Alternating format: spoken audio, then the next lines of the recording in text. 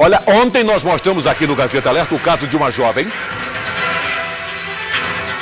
que fez uma denúncia onde ela dizia ter sido espancada por policiais civis.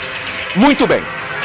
Ontem, vítima e acusados estiveram frente a frente no juizado especial criminal. A mulher diz que não vai desistir das acusações até que os culpados pela agressão sejam punidos. A mulher continua colocando a boca no trombone. Continua colocando a boca no trombone porque ela garante que foi vítima de agressão policial. Eu quero a reportagem aqui, Royos. Eu quero a reportagem. Roda, vamos às imagens. Edivaldo Souza, sobre essa denúncia de espancamento que teria sido efetuado por esses três policiais que acabam de sair de uma audiência, eles negam o crime e dizem ter sido vítimas, na verdade, da acusadora. No caso, a mulher de nome Vanusa, de 21 anos de idade.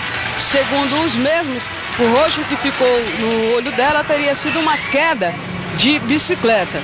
Eles se dizem vítimas também da imprensa, não quiseram gravar a entrevista e afirmaram que quem pode dar versão de qualquer coisa é a Corregedoria Geral do Estado, já que eles representam o Estado.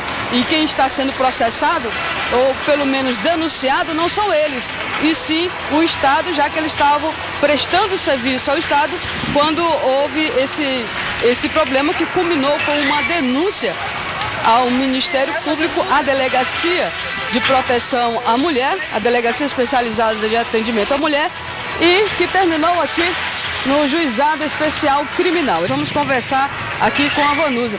O que, que aconteceu aí nessa, nessa audiência? Não, não aconteceu não, não teve audiência não. Não teve audiência? Não, por causa que eles falaram que é, tem que ser preciso para o Ministério Público, que eu vou ter que ir é, registrar a queixa na delegacia da mulher e vou diretamente para o Ministério Público. Agora, eles disseram que você teria mentido, que você teria dado a versão que esse roxo no seu olho teria sido uma queda de bicicleta.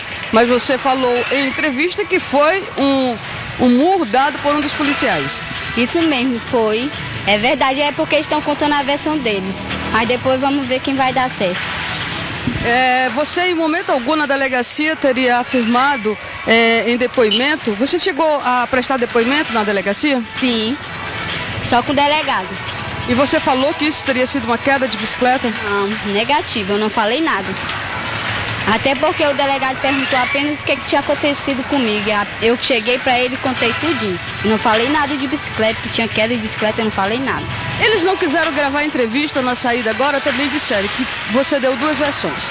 Na delegacia, primeiro de que teria sido uma queda de bicicleta e depois eles teriam descoberto que o seu marido teria lhe espancado. Isso mesmo, mas não foi verdade. Eles estão querendo passar a mão por cima, mas aonde for preciso eu vou. Eu vou Ministério Público, a televisão, já estou indo aonde for preciso eu vou. É porque as pancadas que eles me deram, eu vou tomar a decisão. E você agora já sabe os nomes dos policiais? Quem são? Sim.